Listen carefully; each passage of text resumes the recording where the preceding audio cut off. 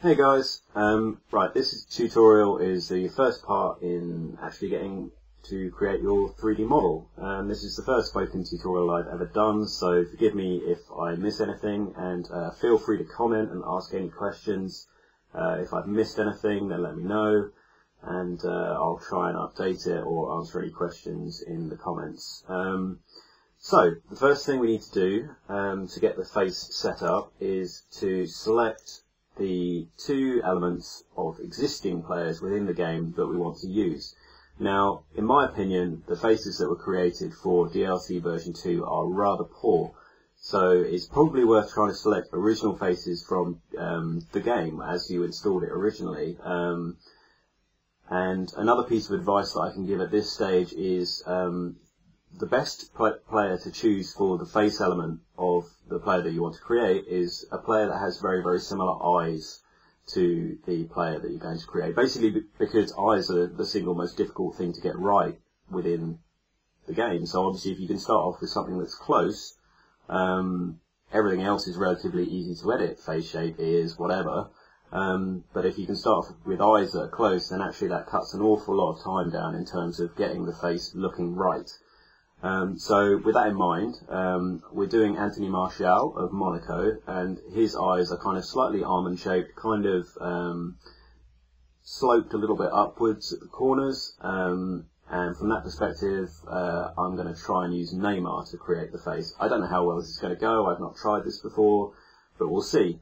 Um, obviously, Neymar's hair is very, very different to Martial, so we're actually going to choose a different hair model as well. So we're going to choose um, Ashley Young of Man United as his hair is nice and generic, uh, just a, a, bald head basically, which is going to be suitable for Martial's very, very short hair.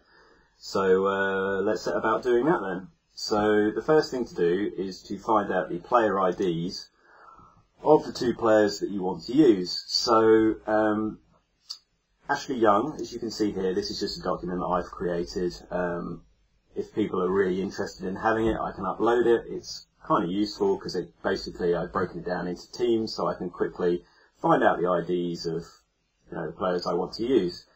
So the first thing to do is to go to my folder of real faces. So these are all the faces that I've pulled out of the game um, using, I think it was Jenkey's File Explorer tool that I used for this. Um, so let's find Young, and Young's code is 34641. So if we find, find 34641, uh, 34641, and we want to pull out all of the relevant hair files for Ashley Young. So that's all of the edit hair stuff.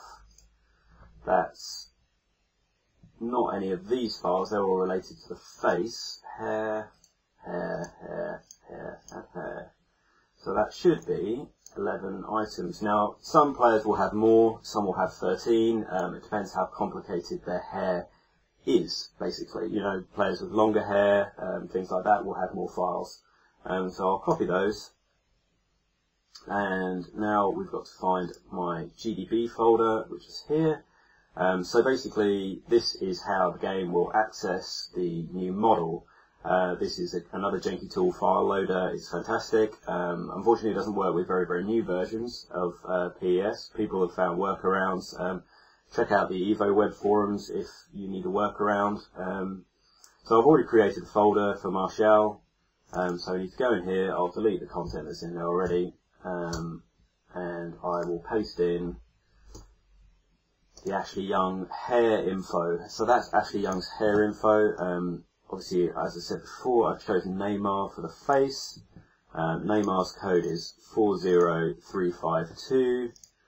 So let's find him in the list. So 40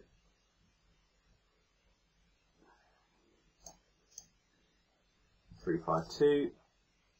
So we need to choose all the face elements. So that's the first four files created, face, DDS, MTL and XML and then the main model file and some texture files. Um, eight items is a standard number for the face. I don't think there's any faces with anything different than that. So copy those um, and then paste those into the same folder as you pasted the hair stuff into. So there you go in there. and this gives you a total of 19 items. As I say, this might vary depending on the hair files that you've chosen. Um, sometimes you have 22, sometimes 21. It just depends on which hair you actually selected.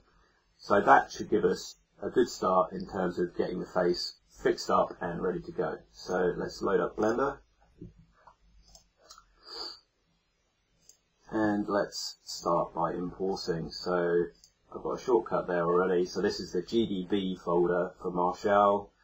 Um, and then we'll load FaceHigh Win32 and then we'll import that and because everything's in the same folder you can leave the use same folder stuff ticked just makes life a bit easier and means that you're not accidentally going to edit anything that you don't want to edit so if we import the hair from there as well that will give us a bald Neymar, which obviously looks a bit strange, and obviously the hair will be slightly offset as well. That's just the nature of all the models being different. You know, Ashley Young's head would actually join up to this, but because we're using Neymar's head, you know, for the for, for this piece, it doesn't work quite right. So we'll fix that later.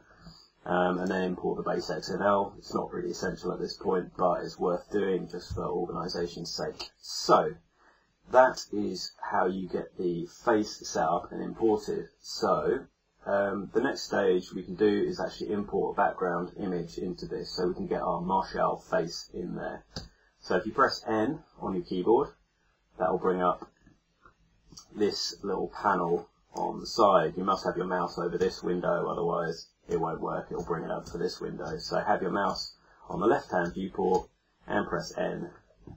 Um, and then we want to tick on background images, we want to add an image, and we want to open an image. So um, all of my images are stored in a separate location. Uh, so we go to Monaco, we go to Anthony Martial, and we choose, ooh, try that again.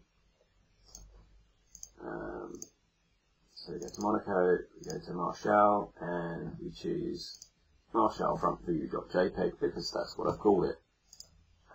So we open that and this is my reference face. So first thing we need to do, and I find really helps, is just switch it to the front because actually when it's in the back, obviously you can't see anything because it's, it's obscured by the model file. So if you can move to the front, that's really helpful.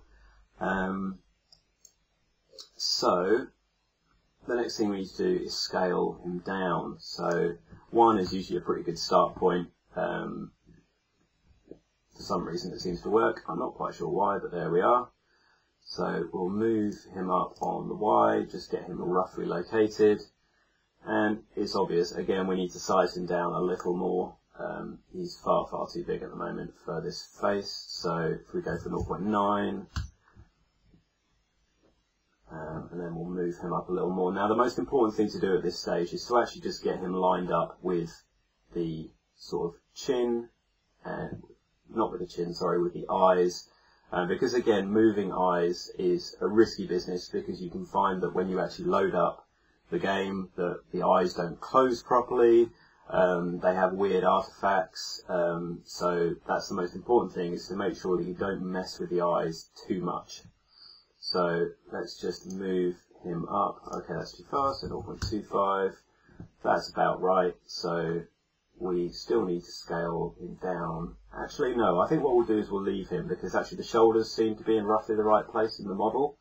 Uh, the ears are obviously in a, a very good place. The hair, again, you know, lines up pretty well. The only element that's not really working at the moment, as you can see, is the chin. So the chin stops there on the model but uh, on the image it's obviously a lot lower, but we can fix that. That's really easy to do. So we'll worry about that later. So this is what we have at the moment. So, you know, it's relatively close. It shouldn't be too hard to kind of get this uh, massaged into a very, very close model quite quickly. So, um, so yeah, that's the end of this part. Um, and in the next section what I'll show you is actually how to join the face and the hair files together to create a smooth model so we can then start modelling. Um, obviously the most important thing is to actually close up any gaps that we've got here um, in terms of this model as opposed to this model. As you can see, obviously it's not aligned at all. So we'll try and fix that in the next one. Okay? Cheers, guys.